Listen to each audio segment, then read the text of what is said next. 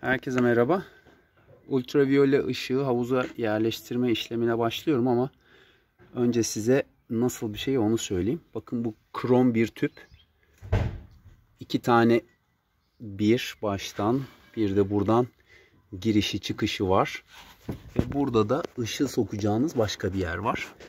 Bakın bu cam bir tüp.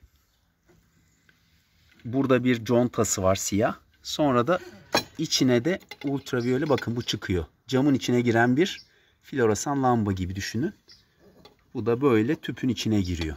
Çok fazla ellemek istemiyorum. Elinizi sürmeyin dediler. Tabi camın da belki kirlenmemesi açısından. Bu tamamen havuzdan suyu çeken hortumu e, bu conta bakın siyah conta bu tüp buradan içeri girecek. Tüpü buradan içeri sokacağız. Contalı olduğu için e, lambaya bakın buradan girişi var. Bu ultraviyole ışık lamba. Bu lambaya dışarıdan müdahalemiz olacak. Ama contalı olduğu için içerideki suyla sadece bu kuartz tüp suyun içinde kalıyor. Tüpe soktuğumuz için de ışık hiçbir şekilde suyla temas etmiyor. Buradan girişini veriyoruz. Buradan da çıkışını. Yani normal havuzdan çektiğimiz suyu filtreye götüren hortumu ortadan kesip bir ucunu buraya bağlıyoruz. Diğer bir ucunu buraya bağlıyoruz. Su akışı tamamen bu kuars tüpün içindeki ultraviyole ışıktan geçiyor.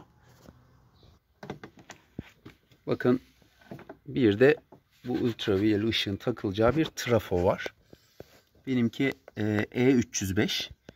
E, bunun yarısı büyüklüğündeki hem tüpü bu krom tüp hem de ışığın uzunluğu yarısı kadar olduğu zaman E105'i kullanıyorlar. Ama benimki havuzun tonajını söylediğim için E305'in uygun olduğunu söylediler. Burası fiş girişi. Bunu da bakın buradan zaten ucunda dörtlü bir girişi var. Buradan ultraviyole ışığa takıyorsunuz. Yaklaşık ömrü 9000 saat. Burada bir sayacı var. Size ultraviyole ışığın ömrünü de gösteriyor. Mekanizma bu. Şimdi ben bunun e, takılma işlemlerini gerçekleştireceğim. Daha sonra ultraviyole ışığın e, havuza olan faydalarından tekrar konuşuruz.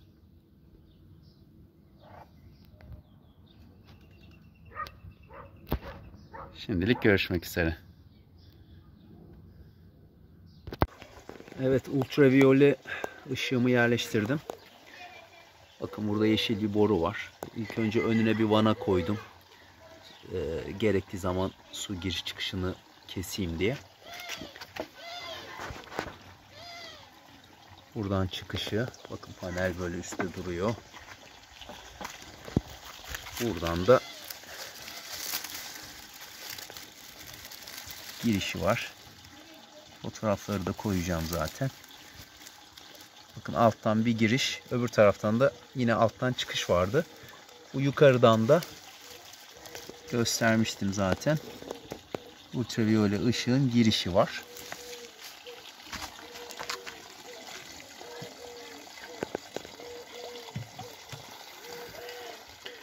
Burada bir kontrol paneli var. Işığın sayaç var üzerinde. 9000 saat bir ömrü var. Yaklaşık 24 saat çalıştırırsanız bir yıl kadar gidiyor.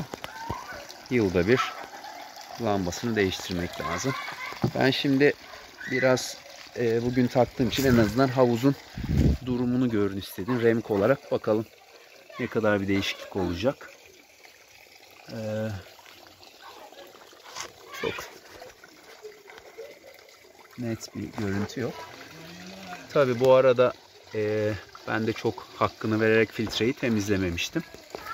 Onu da bir kenara koymak lazım. Yani filtre temizliğimizi daha iyi yaparak çok daha güzel bir görüntü de elde edebiliriz ama e, ultraviyole ışık sadece Görüntü amaçlı değil tabii ki. Sadece suyun net olması için değil. Bir takım bakterileri de öldürüyor. Ee, aynı zamanda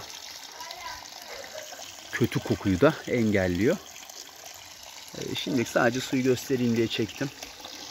Daha sonra ayrıntılı ben de biraz daha araştırıp sizlere daha güzel bilgi vermek adına biraz kitabi bilgilere de bakıp konuşuruz tekrar yine. Şimdilik hoşçakalın. Görüşmek üzere.